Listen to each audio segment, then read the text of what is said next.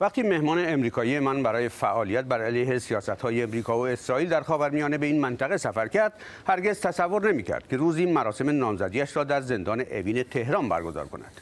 می‌گوید برای گذراندن یک تعطیلات کوتاه به همراه دو همکار دیگر امریکاییش از سوریه به کردستان عراق رفته بود. ولی مرزبانان ایرانی او و دو دوستش را در 9 مرداد سال 1388 در اطراف آبشار احمدآوا بازداشت کردند و با اتهام جاسوسی به زندان اوین فرستادند. او را بعد از 14 ماه با وسیقه آزاد کردند. ولی دو رفیق دیگرش که یکی از آنها نامزد اوست همچنان در زندان اوین محبوسند. مبارزان ضد جنگ یا جاسوسان کوهنورد.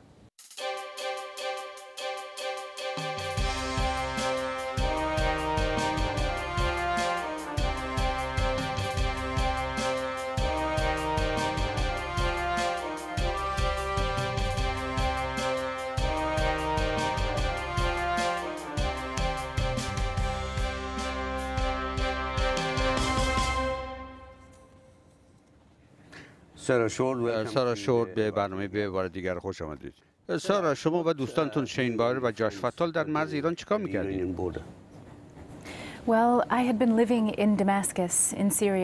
من تا اون وقت برای مدتی بیشتر از یک سال با دوستم شین باور که بعدا نام زدم شد در دمشق زندگی می کردم. شین و من علیه جنگ در عراق و افغانستان فعالیت می کردیم. بعد تصمیم گرفتیم بریم به خاور میانه. نامزدم برای سالها کار ژورنالیستی می کرد. ما تصمیم گرفتیم با همدیگه کوچ کنیم.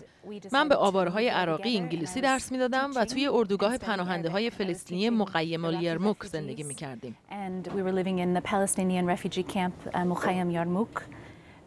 در سوریه؟ بله در سوریه. بعد دوستمون جاش اومد به دیدن ما. اون قصه های ما رو در مورد خاورمیانه شنیده بود و خیلی کنجکاو بود. با قلب باز اومده بود که با منطقه آشنا بشه. ما خیلی جاها می‌تونستیم بریم. می‌تونستیم بریم لبنان ولی تصمیم گرفتیم بریم شمال عراق به کردستان عراق. در مورد این منطقه خاص اطلاعات زیادی وجود نداره. اکثرا میگن اونجای عراق دیگه ایه برای اینکه خود مختاره و مرزهای خودش رو داره. و واقعا هم هیچ آمریکایی در دهه های اخیر در اونجا کشته یا روبوده نشده. بنابراین برای مسافرت منطقه امنیه و صنایع توریستیش در حال رشده که خیلی هم دربارش نمی‌دونن. ولی ما درباره اونجا تحقیق کردیم. یک کتاب درباره منطقه داشتیم و اطلاعات در مورد منطقه داشتیم. ولی سارا شاید مناطق دیگه کردستان مطمئن باشه ولی نه مرز ایران. شما باید می‌دونستید که ایرانی ها خیلی روی بودن خارجی ها به خصوص امریکایی ها در مرزشون حساس هستن. نامزد شما ژورنالیست بوده. خودتون در خاورمیانه کار کردید شما بایستی از این حساسیت اطلاع می درسته. درسته. شاید ما زیاد رفتیم جلو. ولی این جنایت نیست که در کوه پیاده روی بکنی یا گمشی ما اصلا متوجه نبودیم که انقدر به مرز ایران نزدیکیم. ما فکر می‌کردیم چند مایل اون طرفتره ما اینطور فرض کردیم برای اینکه ما پشت منطقه توریستی احمد آوا که خیلی محبوبه در حال گردش بودیم. ما در هتلی توی سلیمانیه اقامت داشتیم و صاحب هتل به ما عکسهایی از آبشار احمد آوا نشون داد و توصیه کرد به اونجا بریم که آبشار خیلی قشنگی داره. ما با راننده تاکسی صحبت کردیم با صاحب رستورانم صحبت کردیم. همه می‌گفتند احمد آوا امنه قشنگه و برای گردش خوبه. این اطلاعات برای ما کافی بود که به اونجا بریم. و وقتی ما به احمد آوا رسیدیم صدها توریست و خانواده های کرد اونجا بودند. ما چادر زدیم که شب اونجا بمونیم. دوستای زیادی هم پیدا کردیم. ولی شما در احمد آوا نموندید رفتی جلوتر نزدیک مرز ایران. شب اول ما در احمدآوا موندیم. اونجا غذا و چای خوردیم. فردا صبحش از کسانی که اونجا بودن پرسیدیم کدوم راه برای پیاده روی بهتره. اونها یک راهی به ما نشون دادن و گفتن توی این راه هیچ مشکلی نیست. ما برای ساعتها اونجا راه رفتیم و هیچ نشونی از مرز ندیدیم. هیچ تابلویی، هیچ نرده‌ای، هیچ پرچمی، هیچ چیزی که دلالت بر این داشته باشه که اینجا مرزه. روز قشنگی بود کوهها سبز و خوشرنگ بودن و شاید ما کمی بیش از حد مجذوب شده بودیم و زیاد جلو رفتیم شما قبول می‌کنید که از مرز رد شده بودید نه ما اصلا فکر نمی کردیم که از مرز رد شدیم. ایرانی ها میگن که مرزبونا به شما هشدار دادن که به مرز نزدیک نشید. ولی شما شدید. این درست نیست. به ما ابدا هشداری داده نشد. ما در واقع وقتی که نزدیک آبشار بودیم پلیس های کرد رو دیدیم و پرسیدیم آیا اینجا مشکلی هست؟ آیا امنه؟ اونها گفتن اینجا هیچ مشکلی نیست و کاملا امنه. هیچ کس به ما هشداری نداد. می‌دونستید که اون موقع در ایران چه اتفاقی داشت میافتاد؟ اون زمان بعد از انتخابات بود و در ایران تظاهرات می‌شد و مقامات ایرانی به طور مداوم به معترضین اتهام می‌زدند که از طرف غرب و به خصوص از طرف امریکا حمایت می‌شدند. و درست در همین زمان شما مرز ایران را برای گذراندن تعطیلات انتخاب می‌کنید. من مرز ایران رو انتخاب نکردم. من هم بدشانسی آوردم هم اطلاعات درستی نداشتم که مرز ایران و کردستان عراق کجاست. اگر من نزدیک مرز ایران بودم این کاملا اتفاقی و غیر عمدی بود. باید صادقانه بگم که من تا اون وقت اطلاعاتم درباره ایران کم بود و بیشتر حواسم به کارم در دمشق بود و پناهنده های عراقی.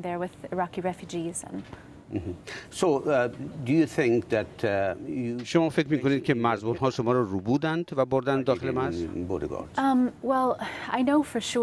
من این رو کاملا مطمئنم که وقتی سربازها ما رو دیدن مطمئن بودن که ما قصد رفتن به ایران رو نداشتیم ما نه وسایل رفتن به ایران داشتیم و نه هیچ کدوم از ما یک کلمه فارسی حرف می‌زدیم. کوشیدیم با اونها انگلیسی و عربی حرف بزنیم ولی گیج شده بودیم که چرا حرف ما رو نمی‌فهمند اولین کاری که مرزبان ها کردن این بود که با زور ما رو سوار جیپ کردند. یعنی هل دادن توی جیپ و به طرف ایران روندن و در اولین شهر ایران توقف کردند. اونجا برای من روسری و مانتو خریدن. چرا که من شلوار کوتاه پوشیده بودم.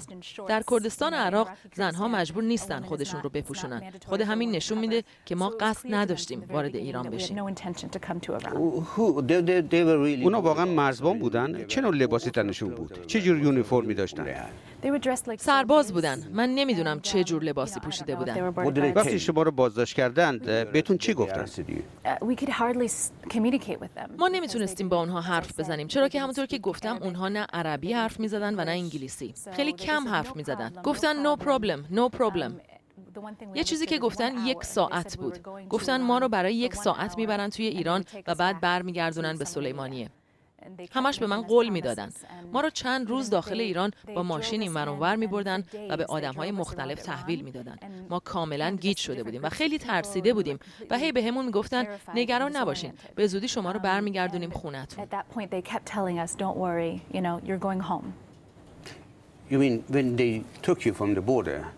یعنی میگید وقتی که شما رو بازداشت کردن همجور شما رو گردوندن و یک جای مشخصی برای بازجویی نبردن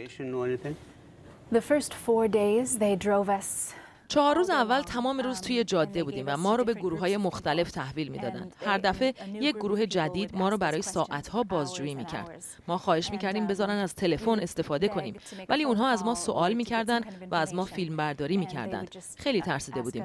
نمی‌دونستیم کجاییم. نذاشتن شما تلفن کنید به جایی؟ اولش نه. ولی بعد شین نامزد شما تلفن کرد به کسی به یه دوست دیگهتون که قرار بود با شما بیاد ولی نیومد. شان مکفسل um, اون هم با ما همسفر بود اومده بود دمشق دیدنمون تو خونمون مهمون بود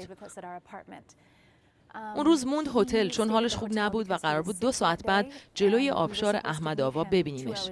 برای همین بعد از اینکه نهار خوردیم و دیگه داشتیم برمیگشتیم سربازها رو دیدیم و سربازها به ما علامت دادن که بریم پیششون. شین بلافاصله به شان تلفن کرد و گفت ما نمی‌دونیم چی میشه. این سربازها میگن که ایرانی هستن. ما نمی‌دونیم کجاییم و خیلی ترسیدیم و شان به سفارت آمریکا در بغداد خبر داد.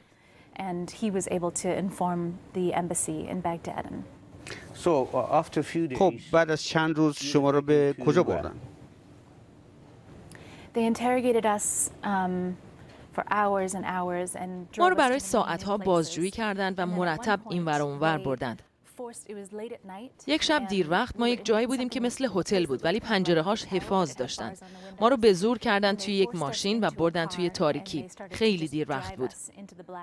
اولش ما هنوز فکر می‌کردیم به محض اینکه اونها متوجه بشن ما توریست هستیم و با در نظر گرفتن اینکه ما هر ستامون فعال ضد جنگ و ضد امپریالیسم و طرفدار فلسطین بودیم خب فکر می‌کردیم که هیچ خطری متوجهمون نیست.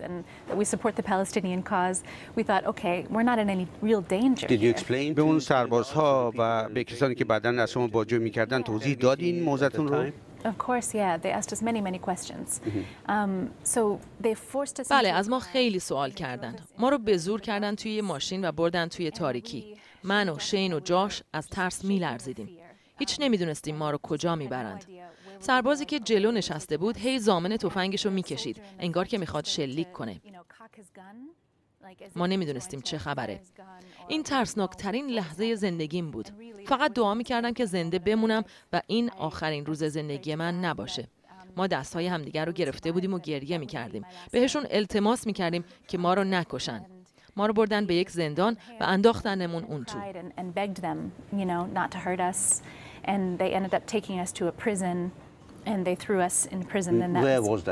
کجا بود اونجا؟ چه شهری بود؟ نمی‌دونم. بهتون نگفتند؟ ما دو روز بود که تو ماشین بودیم و نمی‌دونستیم کجاییم. و بازجویی توی اون زندان هر کجا که بود شروع شد با جوی جدی. نه اون روز سوم بازجویی بود. تا اون وقت ما چند بار بازجویی شده بودیم.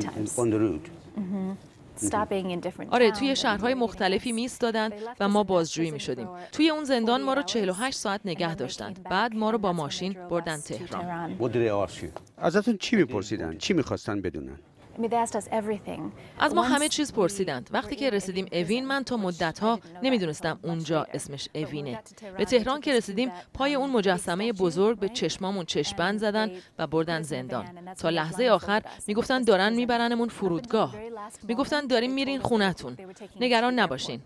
همش بهمون می‌گفتن دارین می‌رسین خونتون و ما باور می‌کردیم. برای اینکه ما کار خلافی نکرده بودیم و فکر می‌کردیم این تا یکی دو روز دیگه حل میشه. وقتی زندانی شدیم بازجویی ها تا دو ماه ادامه پیدا کرد. از من تمام جزئیات زندگیمو پرسیدن. تمام ایمیل هامون و اسکایپ هامون رو زیر و رو کردن. اونا همه چیز رو می‌دونستن. تمام جزئیات زندگیمونو. بعضی وقتا منو مجبور می‌کردن که ساعتها بنویسم بعد به چیزایی که نوشته بودم نگاه می‌کردن و می‌گفتن اینها به درد نمی‌خوره. کاغذها رو پاره می‌کردند و پرت می‌کردن تو صورتم. مجبورم می‌کردن دوباره بنویسم دوباره و دوباره. من باز هم همون چیزهایی رو که قبلا نوشته بودم تکرار می کردم برای اینکه چیزی برای مخفی کردن نداشتم. به اونها همه چیز رو گفتم. ولی جوابهای من هیچ وقت اونها رو راضی نمی کرد.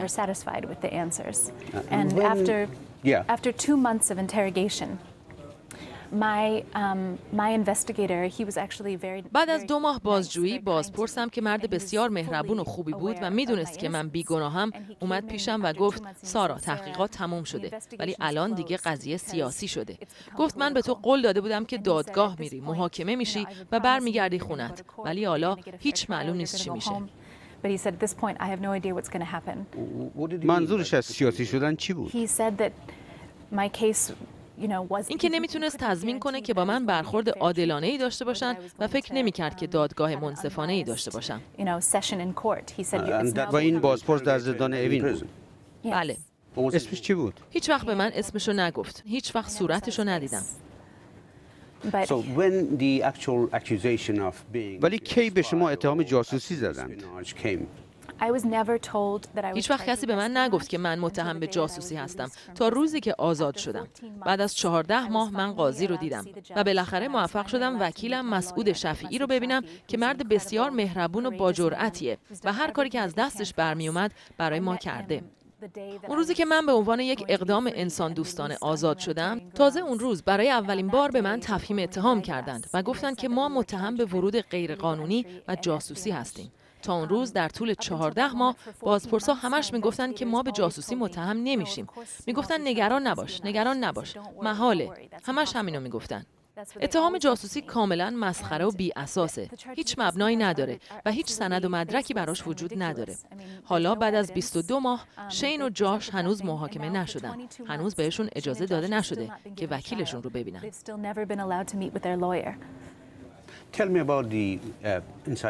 در مورد زندان به من بگین وقتی تو دو چطور میگذروندید باهاتون چطور رفتار می‌کردن زندان جای بد و ترسناکیه. هیچ وقت فکر نمی کردم که توی زندگیم چنین جایی رو تجربه کنم. هیچ آمادگی برای اونجا نداشتم و هر روز بودن در زندان از بدترین روزهای زندگی من بود. من در سلول انفرادی و در انزوا بودم. شین و جاش رو فقط برای روزی نیم ساعت می دیدم. البته سه ماه اول هیچ کسی رو ندیدم. زمانی که در زندان میگذراندم به نظرم خیلی طولانی بود. یک عمر بود. اصلا نمی‌تونستم تصور کنم که شین و جاش چه احساسی می‌کنن.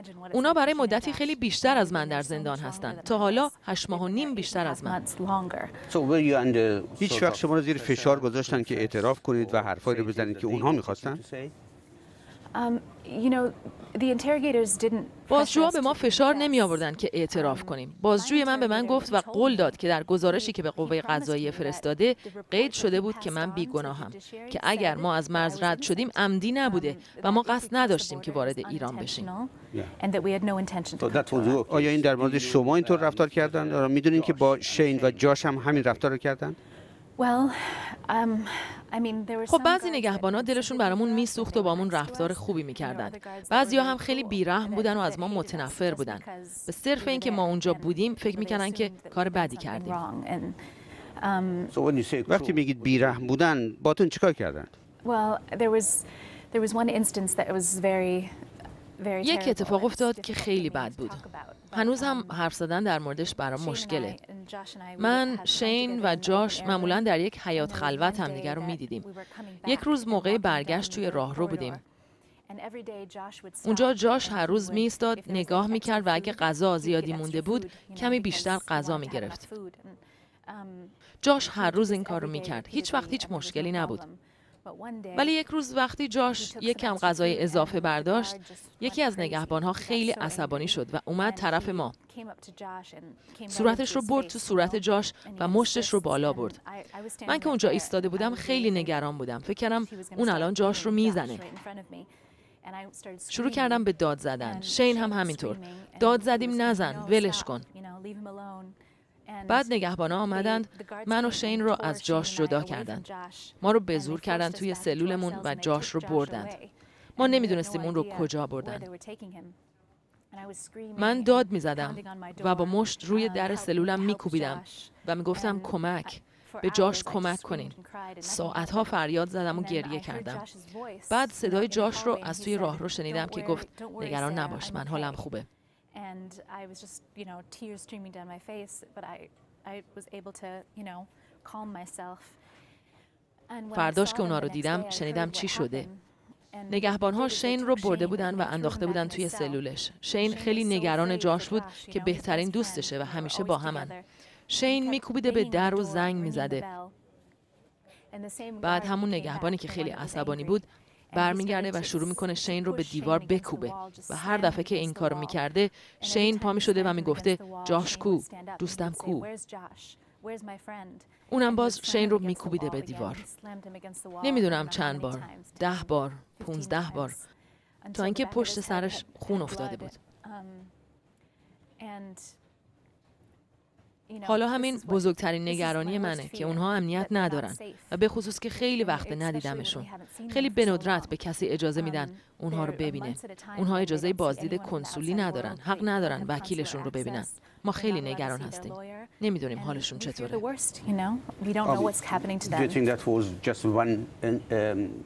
فکر می‌کنید این اتفاقی بود که فقط یه بار افتاد و دیگه تکرار نشد؟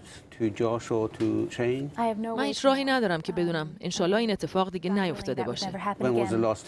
آخرین باری که با شین حرف زدید کی بود؟ به شین و جاش حدود دو سه هفته پیش اجازه دادن به ما تلفن کنن. وقتی شین به من تلفن کرد توی جلسه بودم و چون تلفنم خاموش بود برام پیغام گذاشته بود. ولی اونها موفق شده بودن با مادراشون صحبت کنن. در هفت ماه گذشته این اولین باری بوده که اجازه داشتن تلفن کنن.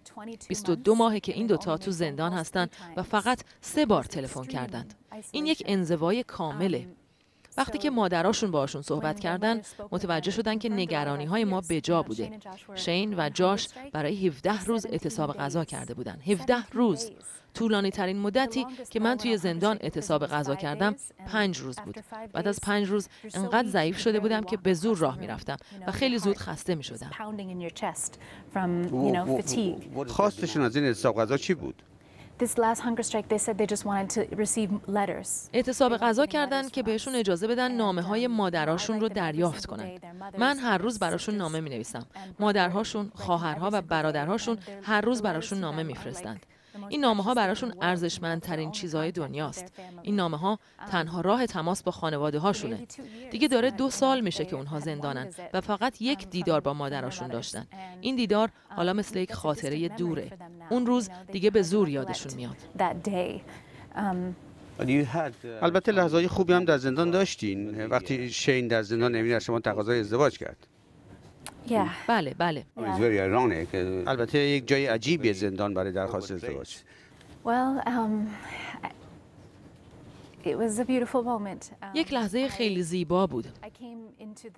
من برای هواخوری رفتم توی حیات خلوت. منتظر شین و جاش بودم ولی شین تنهایی اومد. اول ترسیدم و پرسیدم جاش کجاست؟ چی شده؟ گفت نگران نباش. من امروز می‌خواستم که با تو تنها باشم. گفتم باشه ولی چرا؟ چی شده؟ گفت می‌خواستم باهات حرف بزنم. گفتم امیدوارم خبر خوبی باشه. گفت آره خبر خیلی خوبیه. و از من تقاضای ازدواج کرد. من کاملا قافلگیر شدم. اصلا انتظارشو نداشتم. قبول کردم. شین با نخهای بلوزش برام یک حلقه خیلی قشنگ درست کرده بود و برای ما این مثل یک نماد آینده بود. می‌دونید یک روز می‌تونیم به اون روز مثل یک خاطره نگاه کنیم. این انگشتر سمبولیک به ما امید داد که بتونیم با هم آیندهمون رو تصور کنیم. یک روز که بتونیم با هم آزاد زندگی کنیم.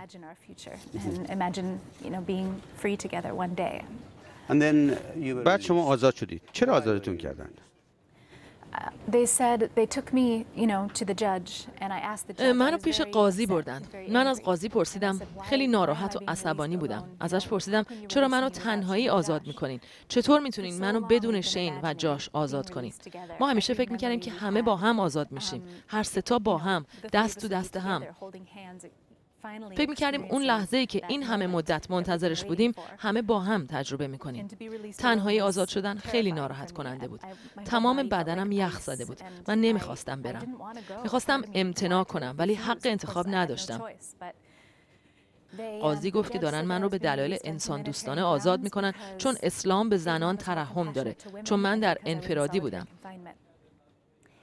به من گفتن انشالله شین و جاش هم به زودی آزاد میشن. همونطور که می‌دونید بعد از آزادی با رئیس جمهوری آقای احمدی نژاد در نیویورک ملاقات کردم دقیقا. می‌خواستم در این مورد بپرسم. چی گفتگویی با هم داشتید؟ همونطور که می‌دونید ایشون با من و مادرم ملاقات کرد. به مادرم آزادی منو تبریک گفت. گفت برای اون خیلی خوشحاله. من یک بسته پر از اسناد در مورد ما سه نفر به آقای احمدی نژاد دادم. اطلاعات در مورد عقاید سیاسیمون دلایل ما برای زندگی کردن در خاورمیانه. تمام مقالاتی که شین نوشته بود تمام مقاله های خودم نوشته های جاش. همه این اسناد نشون میدن که ما ضد امپریالیست هستیم. ما از حقوق مردم فلسطین حمایت می‌کنیم که ما ضد جنگ هستیم و اصلا این دلیل آمدنمون به خاور میانه بوده خب آدم فکر می‌کنه که ایران باید خیلی هم از آدمهایی مثل ما سه نفر قدردانی کنه که ایران به آمریکایی های مثل ما علاقه داشته باشه و اونها رو اذیت نکنه. اون از من برای اسناد تشکر کرد و گفت امیدوارم به زودی ازدواج کنی و چند تا بچه پیدا کنی. او گفت نگران نباش من می‌دونم که شما بچه های خوبی هستین.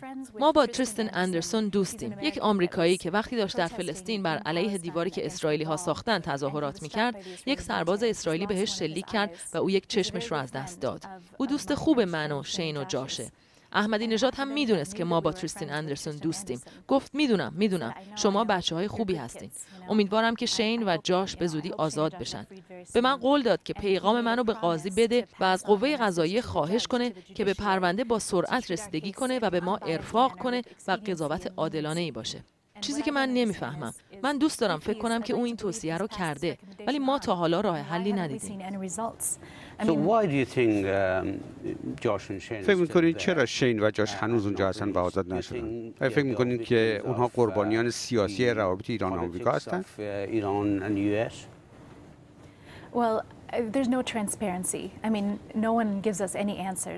روشن نیست. کسی به سوالات ما جواب نمیده. جلسه دادگاه قرار بود روز 11 می برگزار بشه. گفتن که روز ششم فوریه شین و جاش در دادگاه از خودشون دفاع کردند و 11 می قرار بود دادستان پرونده و اسناد رو به دادگاه ببره. ولی این جلسه به تعویق افتاد. گفتن به این دلیل بوده که شین و جاش به دادگستری نیامده بودند. مسعود شفیعی وکیل ما به دادگاه رفته بود و آماده بود که ازشون دفاع کنه. ولی اونها بدون دلیل جلسه دادگاه رو به تعویق انداختن. کسی به ما نمیگه چرا چرا اونها رو نگه داشتن حتی یک سند بر علیه اونها نشون ندادن. وقتی که منو آزاد کردن رئیس کمیته حقوق بشر جواد لاریجانی در بیانیه گفت که قاضی رو متقاعد کرده که من نمی‌تونستم جاسوس باشم. خب معلومه که من قادر به جاسوسی نبودم. شین و جاش هم نیستن. وقتی ما رو بردن ایران و زندانی کردن هیچ کدوم از ما حتی یک کلمه فارسی بلد نبودیم. ما آخرین کسایی هستیم که ممکنه.